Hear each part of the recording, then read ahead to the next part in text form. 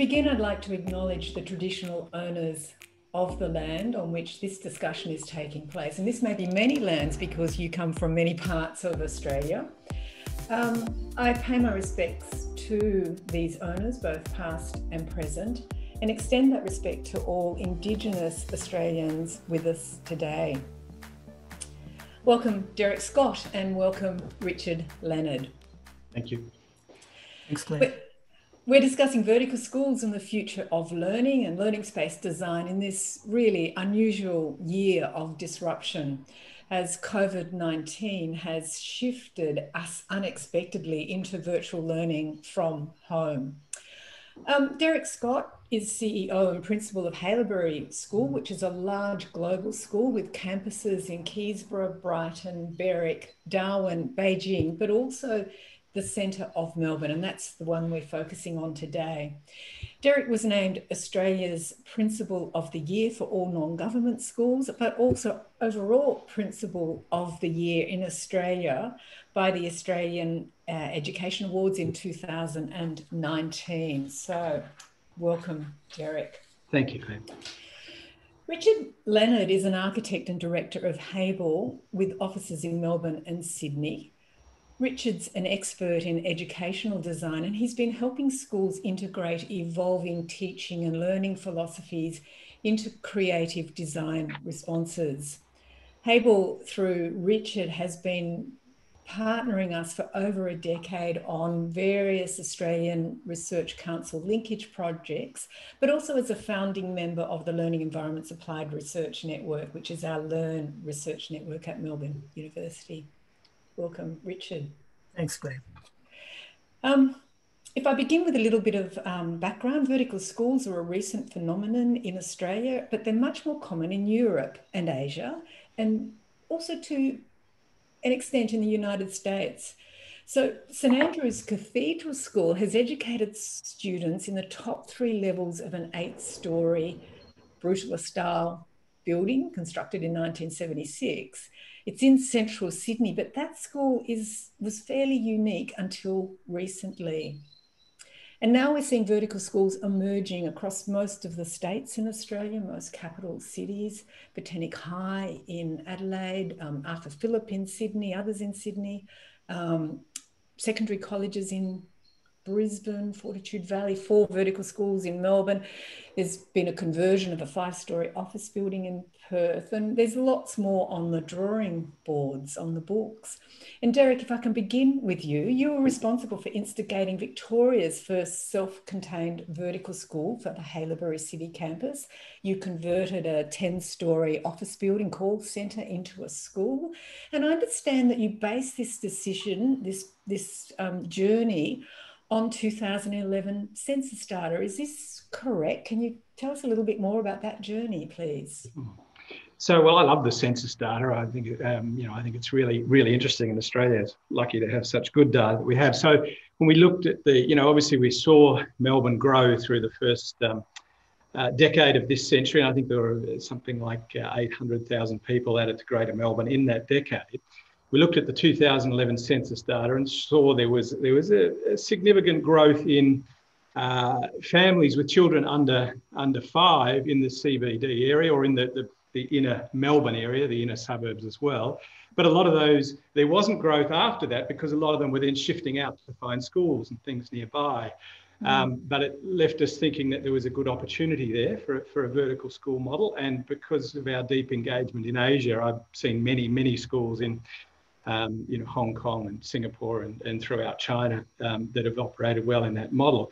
Uh, I got Bernard Salt um, and his, uh, his demographic unit who at KPMG to do some forward projections for us, which uh, you know showed where Melbourne was going and what the, the trends were. And from that, we developed the business model in, in, two, in 2012 and then started having a look for the right site and building. And the one we've ended up with, which, as it turns out, I think has been the perfect site and the perfect building, uh, was actually about the sixth project that we did over a, a four year period and failed on the other five. Uh, couldn't get them over the line either in terms of price or we were the underbidder on another building. We had a really interesting one where we were looking to build a uh, on the top of uh, a car park in Flinders Street with a big uh, one, of, one of the biggest property developers in Australia. Uh, that would have been very interesting. But as it turns out, we came across this site, um, this building, and the, the, as soon as we walked into this, I knew it was the right building to, and they're on the right site to convert to a school. Uh, 13,000 square metres. We knew that could be a school for eight uh, to 900 students. Three terraces, uh, outdoor terraces, two different levels and, and the rooftop. And then the, the real feature of it was the whole front of the building overlooking Flagstaff Gardens, Melbourne's oldest park, and therefore almost a, a, sort of a mini Central Park outlook, which was never going to be built out. And, uh, and, and, that was the real feature, allowing light into the building and just beautiful outlooks, permanently green outlooks, if you like, from every uh, learning space that we have within the building. So that was a real feature for us, and that's turned out to work um, as brilliantly as I'd, I'd hoped it would. Yeah, it's an it's an interesting story, and I think being the first carries with it enormous risks. So congratulations on being being the first. And um, Richard Hayball was really the first, I think, to do the bespoke uh, vertical school in Victoria. And I'm wondering, you you've done South Melbourne Primary School and Richmond High School, and I'm wondering if you can tell us a bit about the design of those vertical schools. What were the opportunities and challenges that you faced? Did you find that you were taking lessons that you'd already developed within the more traditional broad campus, single, double story schools, or were you looking to Europe for lessons? It's a, it's a good question. And um, you mentioned the Cathedral School, St Andrew's Cathedral School in um, the CBD of Sydney, which is a really interesting example because if memory serves me right, I think they started in the early 80s. So they're pretty much a you know trailblazer in that uh, sense. And uh, I think it's about a 10 story building. They're now in two buildings, in fact, just you know almost contiguous to each other but obviously a very successful example, albeit basically within a, a, a very um, sort of office building style that they've they've had to use office office building style building. And I think um, you know that's the same with Haileybury that they've had to move into a an office building and reconfigure that as, as best they can. I'll come back to if I could to a question on Derek on, on that, but um, stepping over to Europe, you know, certainly that's just business as usual, I guess. You know, the density of Europe really means that they've been vertical for you know years, if not centuries. Um, there is one project that we always reference uh, in Europe and you know constantly as architects, and that's the Hellerup uh, School in Copenhagen, which you and I visited, in fact, a few years ago together. And you know that was just such a marvelous reconfiguration or reimagination of a building, not very tall, only four stories but um, it you know there's so many lessons in that not only from a point of view of contemporary education but also in terms of you know how to do it in a in a vertical uh, arrangement you know particularly in terms of you know how do you get interconnection between spaces in a, a vertical stacking of buildings so that you still feel as though you're in one school mm. and if i can subvert the proceedings a little mm. bit if i could mm. throw to derek um, because I'm just, I've always been wanting to ask you this question, Derek. But if you had your druthers and you had the chance to rebuild on the site in the city in Melbourne and build your dream vertical school, would it be much different? Um, it wouldn't, as it turns out, be a lot different, except for perhaps I, I, do love some of the, the central sort of atrium stairwells that you can have. And I've seen a lot of those in the Japanese schools, which are Japanese schools are four, generally four to five stories. And those, those wide stairwells that can go up through there and that can be both a, a meeting place for students as well as a movement space. We did actually look at putting that into this building. Um, but given that the uh, first run through, uh, the first QS we got back on that was uh, four times our budget. I had to take that out for fairly obvious reasons. But having said that, um, the, the, two stairwells which we use for the movement of students, um, one we have one goes up and one comes down. And the students are expected to, it's a 10 story building, but in most cases are expected to use the stairwells to move between the floors, and they do. They've actually been really effective and, and efficient and have also reduced noise within the floors of the different buildings. So it's a very uh, it's been very good for sound and teaching and learning in that way. So they're efficient for movement, but I would love a bit more flexibility around that if I was to redo the, the building. There's a lovely story about those stairwells too. I think um, the Hellerup School really started that, and that's probably a building of about 12 years old now, I think. But um, you know, they they've got that magnificent stairwell that they've taken through, which is the interconnecting device of of the whole building, and it's almost like a vertical piazza. You know, it's the meeting place of the whole school. Um, the wonderful thing, though, that Jens Guldbeck, who is the architect and um, now sadly departed, but um, the lovely idea he had was that um, became part of the learning landscape. You know, the vertical stair was just an automatic part of the learning landscape. Um, but it was also their music room.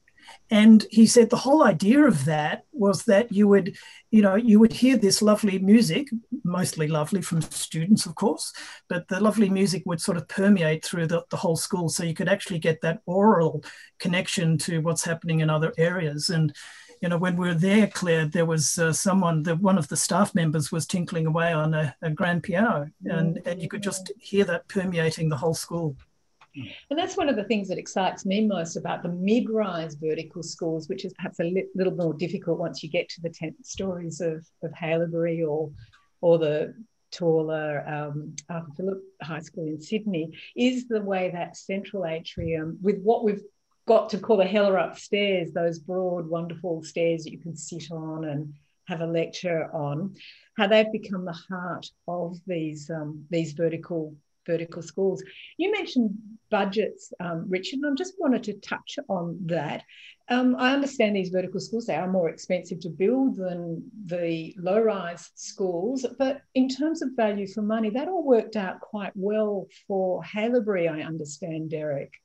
Yeah, the total project. So we paid 52 uh, 0.5 million for the uh, for the building, and uh, the, the, fit out was just around 25. So it was for a school of 800, and it really it could accommodate 900 um, or you know 950, but we've we've sort of capped it at 800 to give us some more flexible spaces. Uh, it was in the just under 80 million, so that was a, a pretty good total cost for for what we're doing. Yeah, yeah.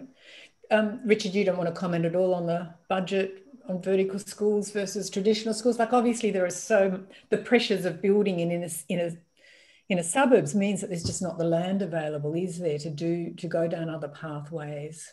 No, and I think look, it's a really good question, Clare, in the sense that there's some there's some pros and cons. I mean, you you win some on, in in terms of you're actually building almost invariably on a very small plot of land. So, you know, in terms of building or, or you know, developing ovals and maintaining those sorts of things, you don't have that. Um, but on the other hand, there are obviously um, uh, some additional costs that you need to consider in terms of the verticality, extra things such as extra circulation space, lifts. Um, you're getting into more sophisticated uh, construction systems and building maintenance systems. You may have, you know, for instance, um, um, sprinklers and, and, you know, such devices that you don't need on other buildings. Mm. Um, to everybody that's um, listening, if a question arises as you're listening, please feel free to submit it through the Q&A. We'll keep um, talking with Richard and Derek, but I hope we'll get to some of your questions later on. Um, in Victoria, students have recently returned to schools after many weeks of um, virtual learning. Derek, how are those teachers and students going coming back to the school?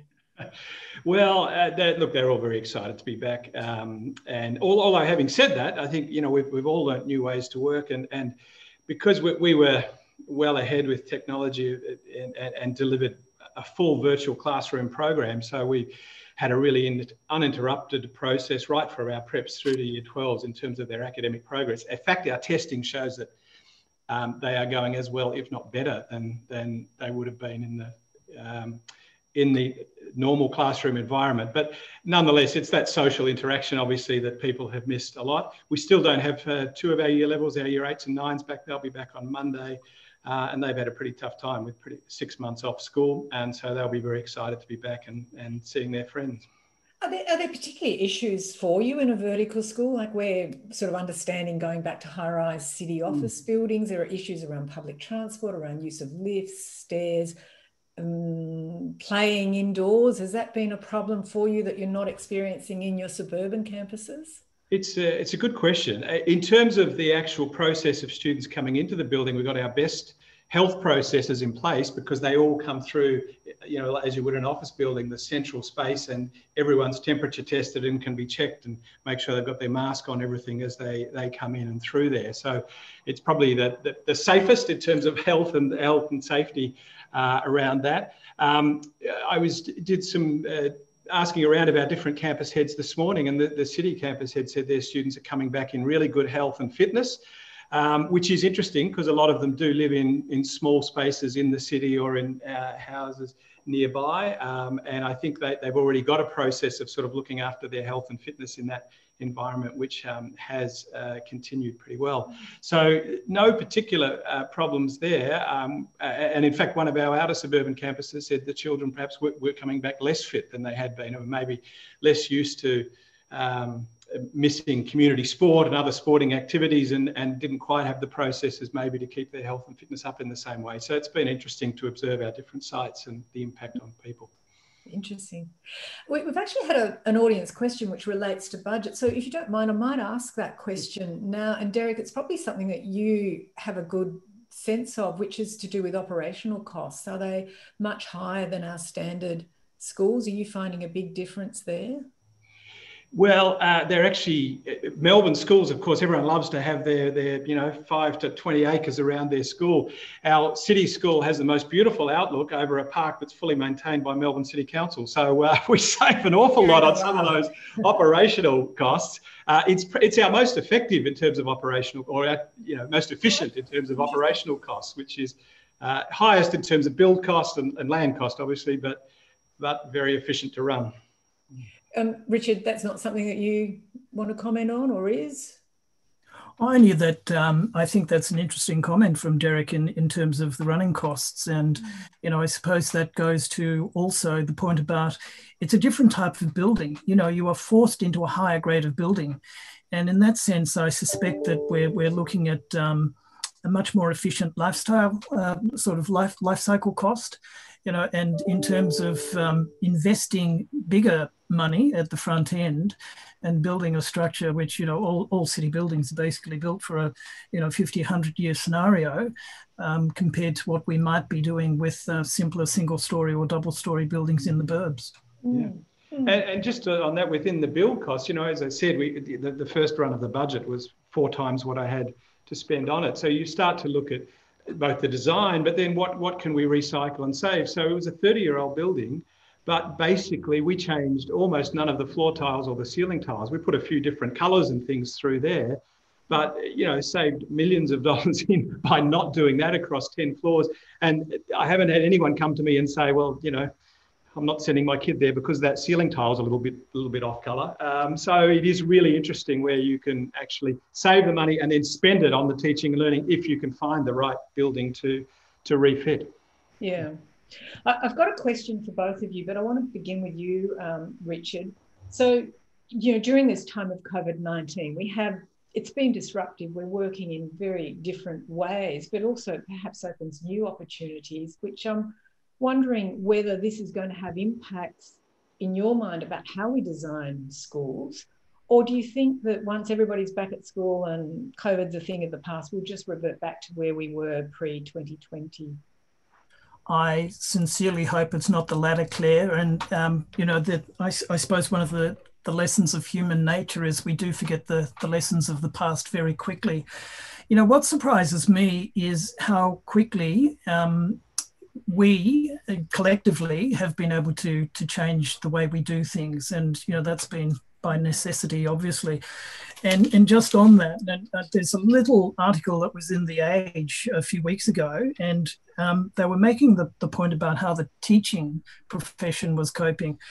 And uh, this was Mark McKelson from The Age, but he said few professions have changed as much and as frequently as that of a teacher in 2020 we pivoted to home learning, went back to school, then full circle again. And I think, you know, that's it was a great comment because I think the whole teaching profession had to basically, you know, change overnight and they did and they were successful. And um, my uh, daughter is in year 12 and she attends the, the school just across the road from uh, Derek School in, in Brighton. And, um, you know, one thing that I think is never going to go back that, that was one of the lessons out of COVID was we had parent teacher night online. And I was asking the teachers, you know, everyone that we were coming to, how do you like it? How are you coping? And they were saying, well, we're never going to, you know, do the face to face with parent teacher nights again. We don't need to. And that was a really good uh, sort of practical lesson. I think the other thing to say that um, Professor Stephen Heppell in the UK made a really good point to say the genie is out of the bottle. You know, the COVID has been a trigger point for uh, changing in practices, you know, in, in, particularly in terms of digital um, methodologies. And I think he's right. You know, the genie is going is out of the bottle, and there's no going back. That we're going to see much more sort of blended learning opportunities continuing. Um, we're seeing that with a lot of schools that we're dealing with. They're talking about the need to have uh, spaces for staff, for instance, to develop um, online learning scenarios because they're saying we're still doing the face to face stuff. We'll always do that. And that's still the most important. But we're going to be doing elements of it online. So we need the, you know, the structures, not only the digital structures, but the physical structures also to deliver that. So I think that's one of the really key mm. Um, Derek, is the genie out of the bottle, or or do you think that the system will revert? Uh, the genie is out of the bottle, and there'll be significant parts of the system that will revert. Um, I'm seeing a lot of schools that have got plenty of capacity to change and evolve quickly, but that are looking like they're a bit comfortable to go back to what they did before. And of course, the system that is our education system um, that's delivered, you know, by the government, by the state, is going to take longer to drag along that journey because there's always a lot more um, organisation to bring that through. So, but I am hugely excited about about the future of education, and so we are we are a multi-campus school. So we we were already delivering uh, classes across via technology across multiple sites. That will grow exponentially now, and I expect that every one of our students going through um, from year 10 to 12 will have uh, at least 20% of their time um, using Zoom and, and classes that are, that are multi, uh, that involve students from multiple campuses. And you, you only, we know that's where the workforce is. So why wouldn't we be saying this is what we need to be working through at school to have you ready for university and the workforce afterwards as well? I'll be, uh, I'll get, we're, we're working uh, flat out on the, the uh, delivery of a full virtual school within the next 12 months that we're well underway with planning and developing that will not just be based around Melbourne or Australia, but that will have the potential globally to bring um, people into it. And, and with that, we're working on a big set of programs around micro credentialing and elective choices for students that can be delivered anywhere, anytime, and open up. So if you think of a student coming through middle school now and what they might have as a choice at year seven, eight, or nine, they might have two or three elective choices, or you know maybe a few more um, in each semester to go through. But if you put this into the virtual space and you micro credential it and you have that authentic, authenticated, there's no reason you can't have 150 choices for students. Um, as they come through the school. And you might have some of those students in a collaborative space. You might have 20 students there, still with, with a teacher looking with them, but they might be doing 10 different tasks in collaboration with students around the world in other spaces. So these are the things that we already had in planning, mm-hmm. um, but that we're pushing very hard with to have, have uh, ready to go as quickly as possible. And I, I, think it then opens up a whole range of things for, for great mm-hmm. teachers as well. And many of our teachers have found they, they love working in the virtual space and they, they might miss the students, but they love working in that space as well. And so I think choices for teachers, for students. It's going to be about choice because, just one more point on that, our students, um, many of them have discovered, you know, they, they like being more in control of their own learning in their own spaces as well. So, uh, you know, how, and that will flow into the architecture. What sort of spaces do we want at school to actually encourage students to be at school, to share and to build the social relationships that we want when we actually know that a much more significant percentage of their academic progress can be done in the virtual space.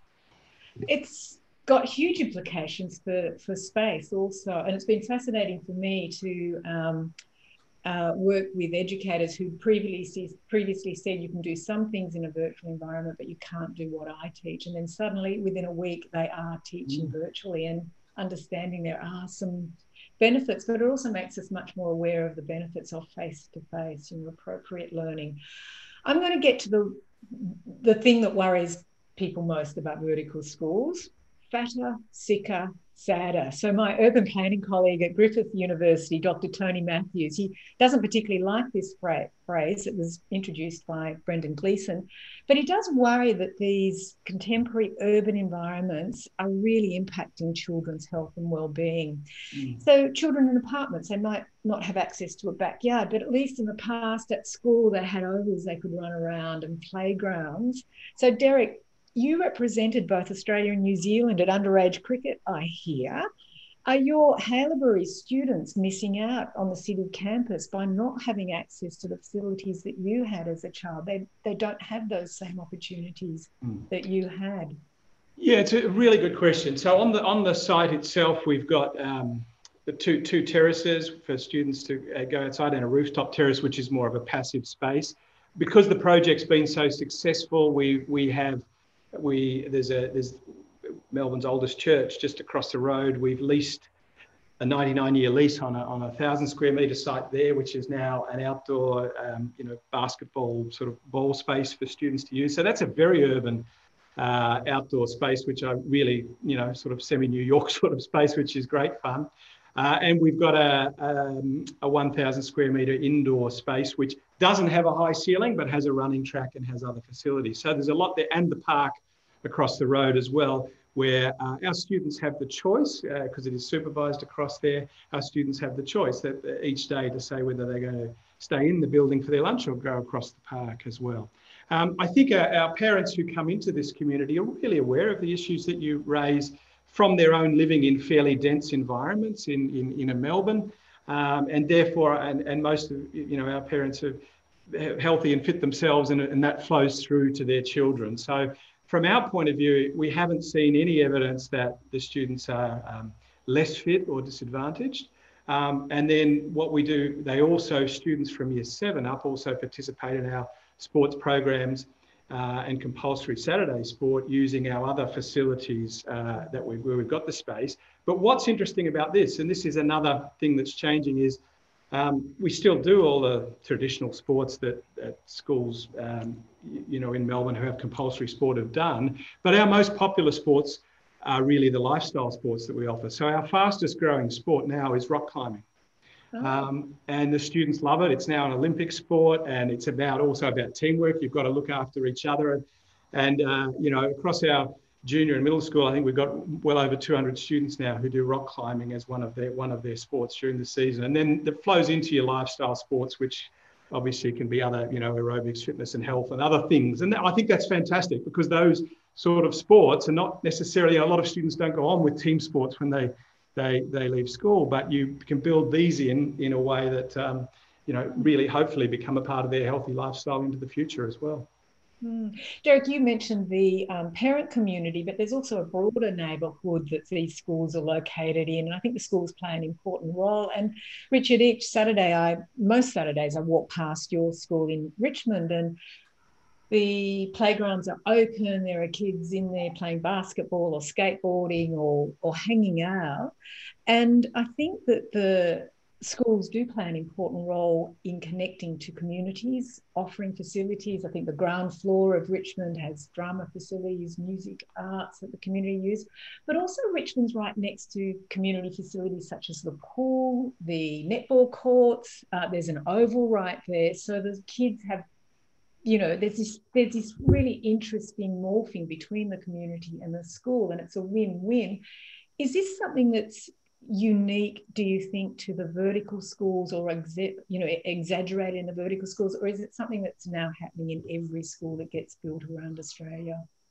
I think it's certainly been triggered to some extent by the need to reimagine what schools are in a in a vertical environment, and particularly in the, you know, any of the inner urban environments are invariably pretty dense and, um, you know, uh, are probably um, really challenging our basic mental models of what a standard school is. You know, primary school, you get three and a half uh, uh, hectares in the suburbs. If it's a secondary school, you get seven or eight. You know, we're, we're starting to build on spaces that are down to, um, you know, half a hectare. And, and that really means you need to use the provisions of the community uh, and vice versa. The community can start to use the provisions of the school. And I was I was really pleased to hear, you know, Derek talk about what's happening at um, at the uh, King Street School in uh, in their city campus, and just thinking, well, you can you can walk four blocks down the road from there and you're in one of Australia's really specialist buildings with rock climbing. A school couldn't, uh, you know, a normal school in the Burbs couldn't compete against that. So, you know, to me, I think um, one of the great lessons that came out of our uh, early design work with uh, South Melbourne and Richmond to, to, some extent also was when we were having the community seminars and you know getting the, the community inputs and these were prospective parents etc and it was a really bold decision from the department to build these schools in in um, communities that were in South Melbourne's case just emerging. In Richmond's case was a rebuild of a school that had been closed about 20 years ago. But one of the, the fundamental questions that was asked was, what are the provisions of a school that the school can provide that the community can't and vice versa? What can the community provide um, for the school that the school can't provide, i.e., the oval or what have you. So, for instance, with South Melbourne, um, they can go about uh, 500 metres away to the, the Melbourne Sports and Aquatic Centre, and there, you know, there you've got your one of Melbourne's premier um, Olympic uh, uh, swimming pools, um, and there's lots of other facilities in in the area but also I think you know just to, to finally make the point about that interconnection with the community. Um, in both cases, I think the wonderful thing is they're becoming a genuine, authentic community hub.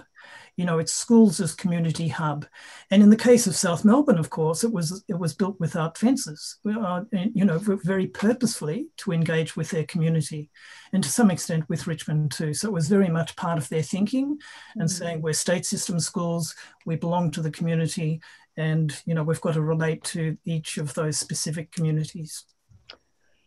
So we've talked about community connections. Let's move inside and talk about the learning spaces themselves. And we've got an interesting question um, about vertical schools and whether there's a certain appropriateness to age groups. You know, are they better for younger, middle, or older students? Now, Derek, your school is for all age students. Richard, you've done a primary and a high school. So it will be, I think you're well placed to answer this question yeah. Is there a certain age for which you would not recommend a vertical school? No, uh, I think that that's the really interesting thing around having the, the ELC, so the three year old through to year 12s all on the, the same space. And what we did with that was essentially um, there's, there's big floor plates on the bottom. The first two levels are 2,000 square meters, and then up from that, it's 1,000 square meters, and that's where your terraces start on those levels, we put lots of big rooms for drama and music and, and where gatherings of people. And then from the uh, third level up is where you start the teaching spaces. And we start those with, with ELC and junior school, and then move up the higher you go up the school through the senior school. Um, there's different designs that you do for those floors.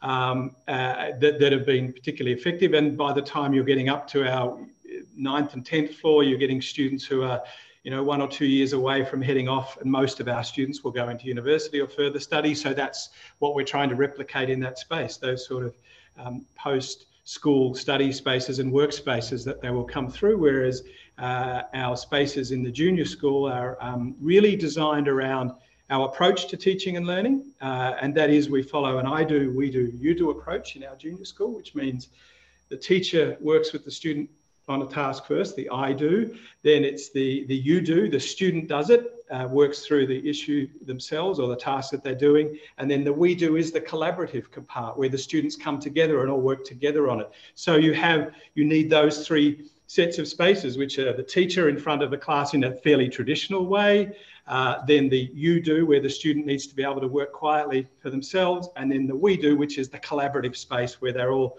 working together. And so Um, we've managed those spaces, I think, pretty well. Um, a key for us in the vertical school was getting the sound right so that ah, students every school. Uh, could move in and out of those spaces and not be disruptive and have the, both the traditional and the collaborative. So, you know, when we did the fit out, we put made sure that there was extra money in making sure that anything we put up in terms of a glass or walls went all the way, not just to the ceiling tiles, but to the ceilings and and that's been that's really worked well and that that's really you know, one piece of advice uh, that I would have to anyone designing or developing that, because if the sound isn't right, uh, I think it, it creates a whole range of issues for, for learning.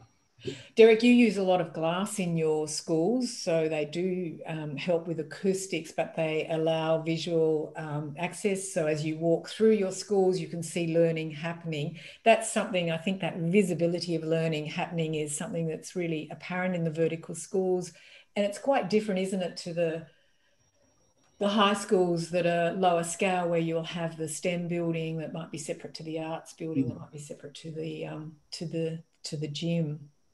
Um, we, we have had a question about one of the surprise issues coming back to schools is the sensory overload of having so many people around after being in isolation and it impacts both staff and students. And the question is is that a factor in vertical schools? You know it's it's exacerbated in vertical schools rather than traditional schools. Hmm.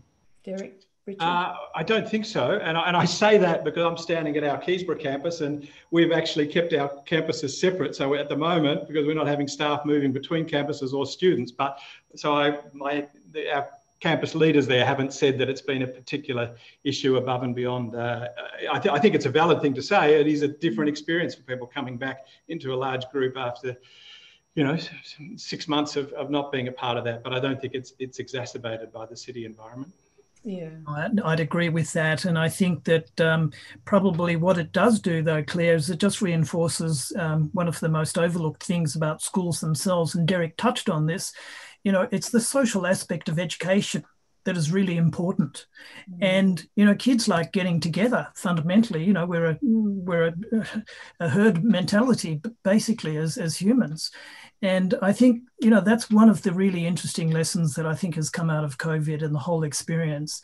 And kids, you know, we've seen it on the news. Kids are saying, Oh, I never thought I'd say this, but I missed school. You know, they love to come back. And I know, you know, just again, using my daughter as an example, in year 12, um, she loved the COVID experience because she, she said, I can do um, my work at school online and in bed. She didn't even have to get out of bed, you know. But she she really missed that campus experience, and I think that's um, you know that's a bit of a cheeky story in a way, but there's a really important part of this that I think you know we do have to rethink the model of schools in terms of that social aspect. And again, I'm, I'm really interested interested in what Derek was talking about with that full virtual school, and you're looking at um, obviously, as you said, that that range of choices. But I'm intrigued to, to think through that social experience and how you can actually still deliver that to, in some way, shape, or form. Mm. Um, and I know Julia Atkin, who we, you know, is a great educationist and we work with quite a lot. She has a great term for it. She said, well, you just can't beat the 3D learning, you know, that interface between student and staff and the nuances and the, you know, the frown on their face when they're trying to struggle with a, an issue. You just can't beat that 3D element of, of learning how do you think we get the balance or what can you offer in the full virtual school to at least um, try to address some of those issues? Yeah, it's a really good question. And we, so we've got a, I've got a, a four month plan now working through uh, vision, strategy, and business plan for this. While at the same time as we do that, we'll be launching a whole series of education products for the summer break around skills and development for people who might have missed out. Um, and uh, that's a key question for us. And again, I think it'll come down to choice and flexibility and where people are. In Australia, we've got a pretty solid, um, you know, government system of education. We, we, we may have slipped over the last 20 years from, you know, fifth or sixth in the OECD to 15th to 20th, but it's still a largely a good system and serves people well. That's not necessarily the case in, in uh, a lot of other countries. Um, and so it'll be about people making a choice, won't it, around whether uh, they think on the academic side they can get a better virtual, better program through the virtual school.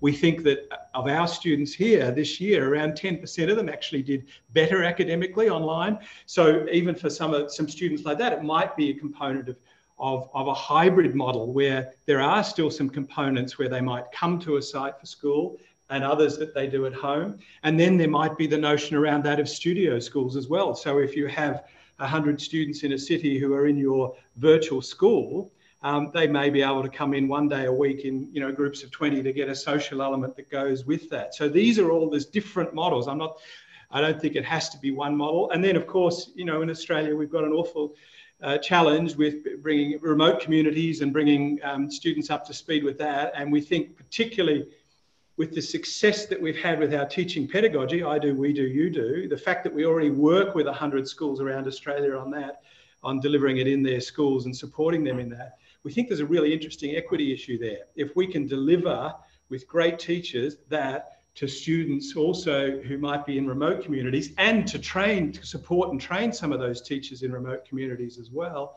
there's a, there's a broader issue of how we might be able to contribute to to standards overall for some disadvantaged communities.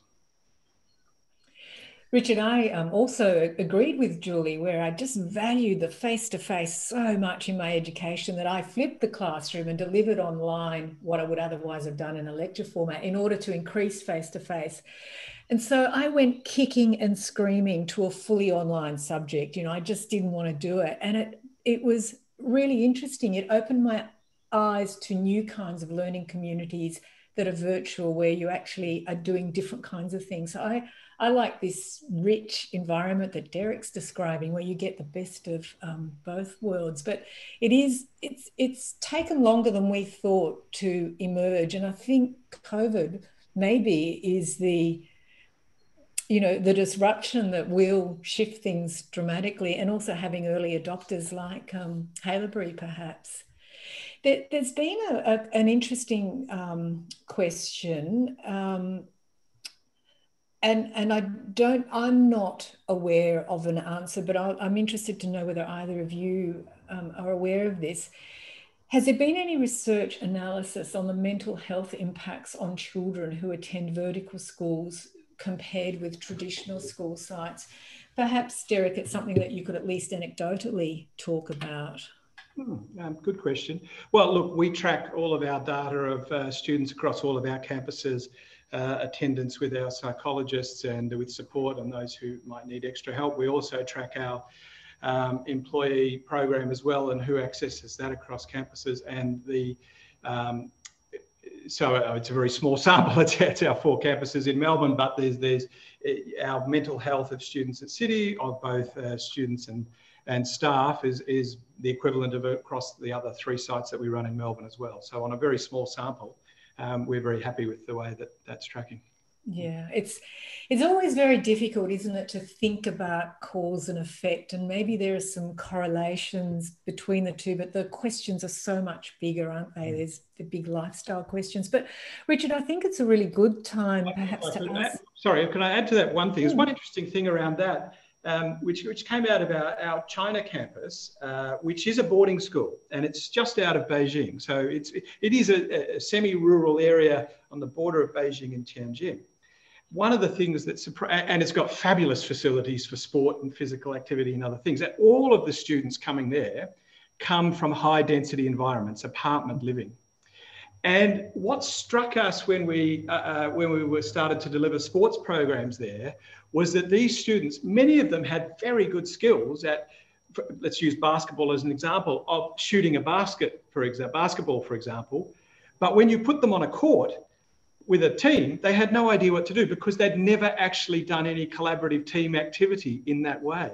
So that was really interesting for us to think in China about the way we'd restructure the program um, in some ways less on skill development on more and, and more on team development and work that, that because of course they were all ten, uh, nearly all coming from single child families as well. So I, I, just thought that was an interesting example in a different um, really interesting.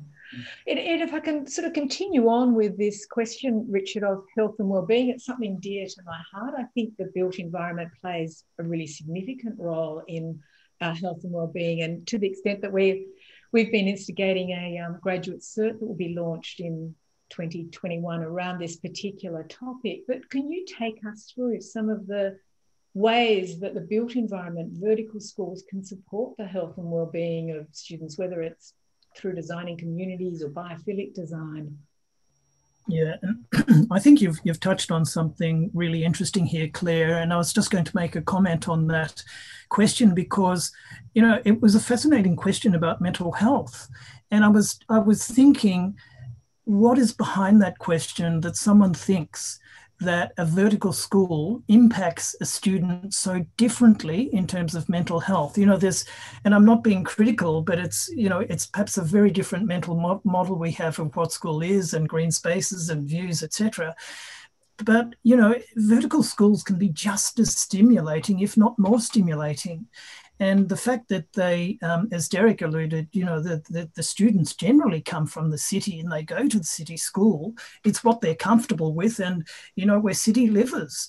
So, um, you know, the, the, using the collateral of the city can be way more exciting than, than, than, being in the suburbs. You know, going to the galleries, going to the, you know, the, the, the Melbourne Olympic pool, going rock climbing. You know, these things are right on your doorstep, and I think that we can forget about that. So, you know, I'd always sort of put the other side to the coin is that it can be seen in that way.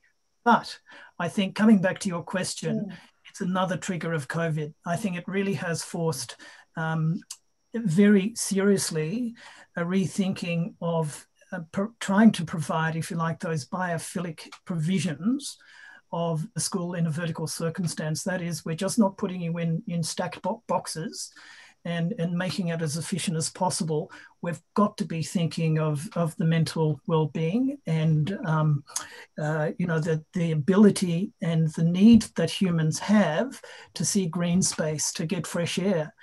And I was um, just reflecting that one of, again, one of the great lessons of COVID is a lesson that we probably learnt at the beginning of the century when we had the TB pandemic, um, uh, you know, sweeping through the world.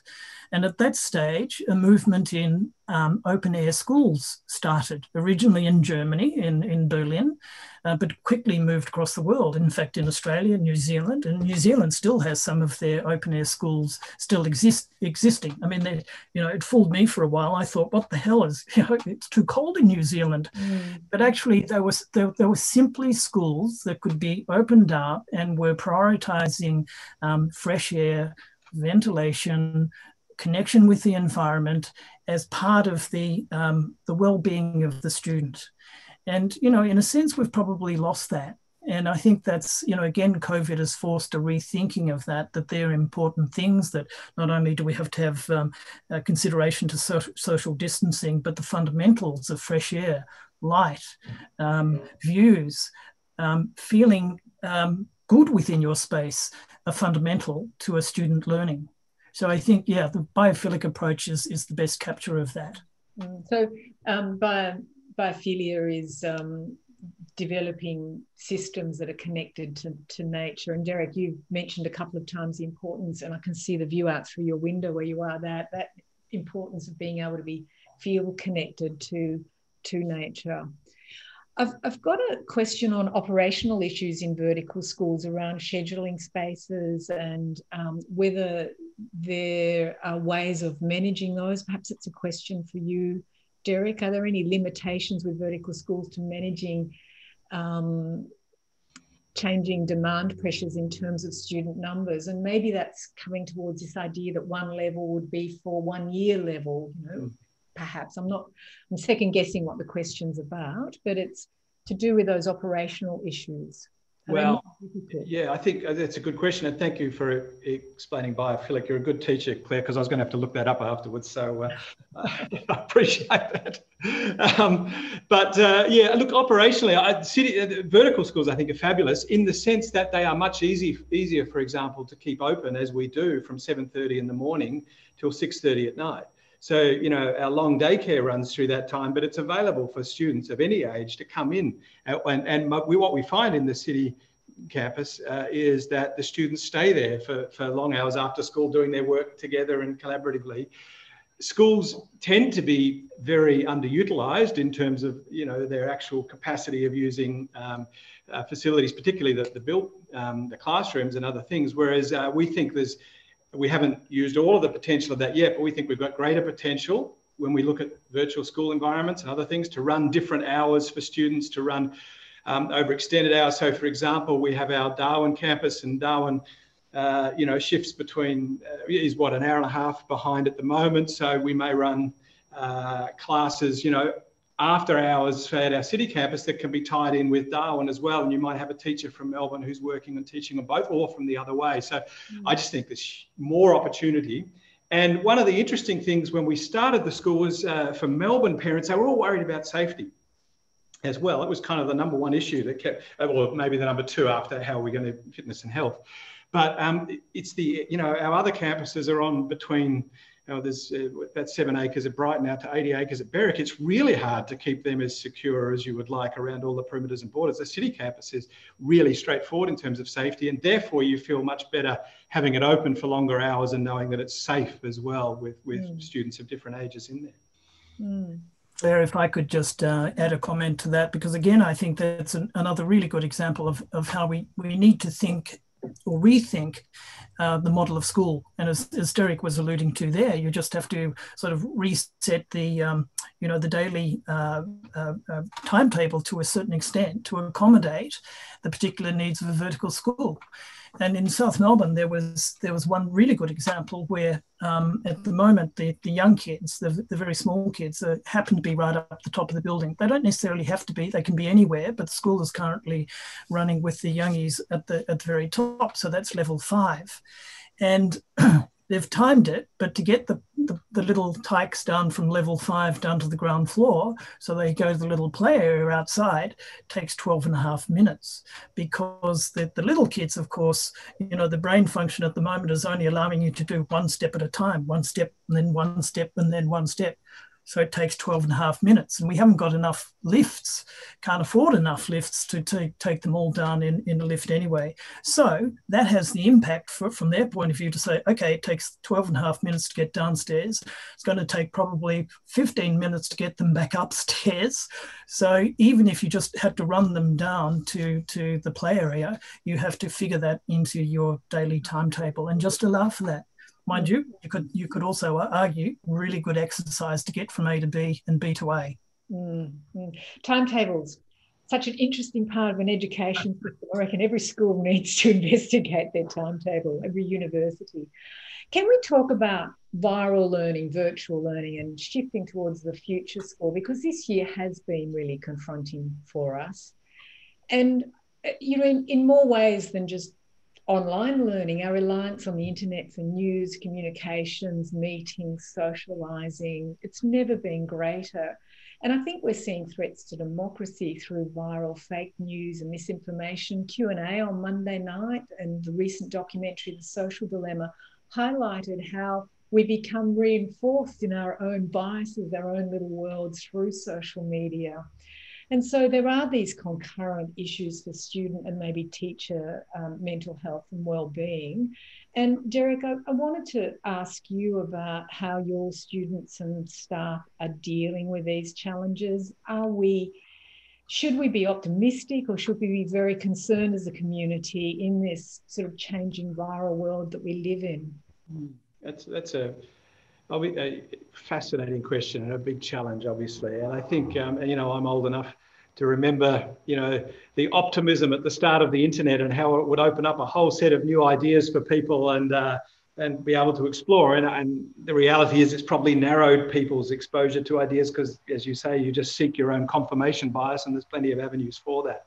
So I think uh, media literacy in schools is one of the most important things we have to deliver on, and whether that's through an English program or separate from that, um, is a part of it. And um, and that is building into our programs, particularly through our middle school students as they start to be exposed to that more, the whole deeper analytical thinking that comes around that. And so that's a huge focus for us across all of our subjects and and you know you can obviously you're doing a lot of analysis in english and in science but i think we've got to be very explicit about what media literacy actually means as well and i uh, I see a really interesting opportunity for us with that in the virtual space as well. So, you know, we might make a compulsory unit for all of our students, for example, in year eight to compete or to complete, might be a virtual media literacy course. Mm. Um, so it doesn't necessarily have to be taught in the classroom, it can be taught in in the media that they are actually engaging with.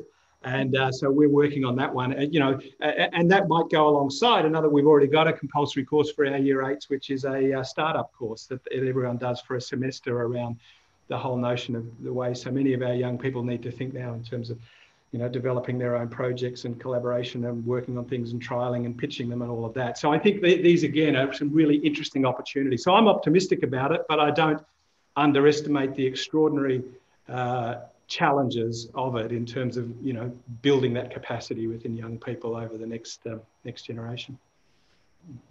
Thank you for, for such a, a, sort of comprehensive and perhaps optimistic um, answer. We're reaching the end of our hour, and um, there has been a, a question. It's a question for you, Derek, but I'm actually going to push it to Richard in the first place because this has been a conversation we've been having for a very long time with each other. And it's this issue about the classroom is the classroom dead versus open plan. And I think for many people, there's a dichotomy, you know, it's one or the other. Whereas you, Richard, and many of us who've been working this area are understanding much more about nuanced spaces, purposeful spaces, um, spaces for a whole range of social learning experience. So the, the question, which is for Derek, but I'm asking you first, Richard, is can you discuss your learning spaces in terms of openness, because there's been feedback from some educators that the open plan environments being rolled out lately is often challenging for some educators in the sense of classroom boundaries. Is there a sweet spot between open plan team teaching and individual classrooms from the more traditional teaching model?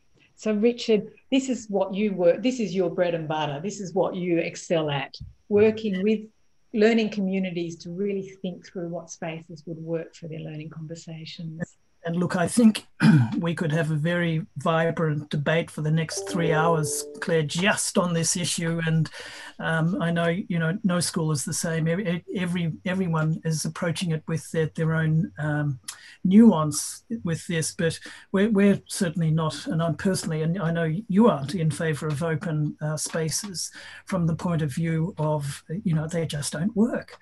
But you know, one of the things that I think has been again one of the great triggers of COVID has been to think in terms of what Derek was talking about, how we switch our thinking and approaches to dealing with the complex, wicked challenges that we have.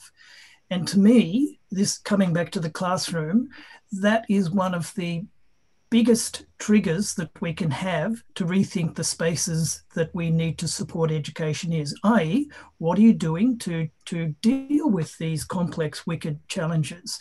And they're not just, as we know, the, the straight disciplinary spaces. It's all about dealing with things in a, in a complex world that is interdis- interdisciplinary and collaborative and um, very much, you know, e- exploring the issues. So the classroom to me in, in summary is always going to be there. It's still you know the industrial era perfect piece of design for that one to many um, uh, session you know the didactic teaching and learning. Can't beat it. But it has to be supported with a whole lot of other potential uh, activities and functionalities and spaces that are going to deal with this world that we live in. And um, Derek, I'm going to ask you that you're the one that meant to, was meant to be asked that question, but I'm going to expand it a little bit um, because um, I'm not as convinced as you, Richard, that the classroom is the best format. I, I think that it um, entrenches us a little bit too much to thinking about a class size and a room. So we can have that discussion a wee bit more, but I want to ask you the question about openness, but I also want to ask about furniture and desks because my three kids, when they were growing up, they had desks in each of their rooms. Did they ever use the desks? They would be down in the kitchen working at the table with me, they'd be on their bed. they wouldn't be using their desks too much. So I just want to also challenge the classroom full of desks. Is that the right learning environment for our kids? Well, you know, I look around my office here and I've got four different levels. I've got some chairs over there. I can sit and have a meeting with a couple of other people. I've got a, a bit of a boardroom table where I might meet with 10. I've got a higher table just behind me here where I might meet with four. And I've got this classroom, isn't it? standing out here. There's no reason our classroom shouldn't look like that as well. Different layers, different levels, different opportunities to bring students together. The one thing, because I, I, do think the classroom space will stay, but everything we've done around it, and, and, you know, we've got seven campuses, but I've never had the chance to build one from scratch. So everything I've been doing has been retrofitting what was there before.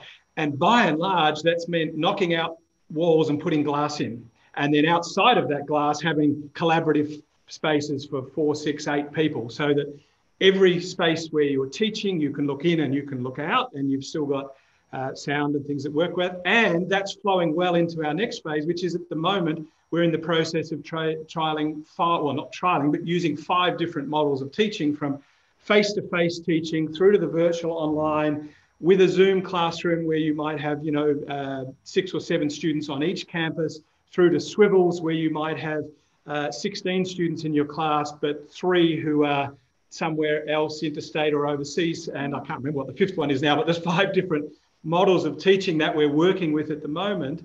And they're all working within the, the spaces that we've had. Um, and the other point I'd say on that, and this is for uh, peer observation and collaboration and improvement, we've always built a very strong open classroom environment, partly because of that glass.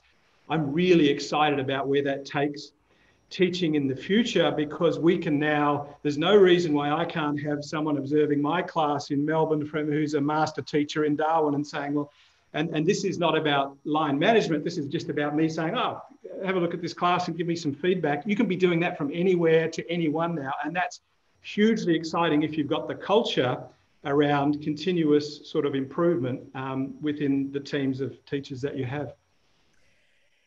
Derek and Richard, I wish we could keep talking. We haven't spoken about team teaching yet. We haven't spoken about how the building might be used by the community after hours. There's lots more to talk about, but it's been a great conversation. I've really appreciated the questions that have come in.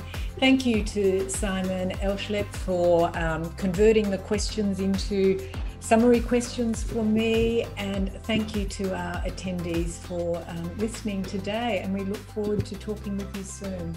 Thank you. Thank you very much.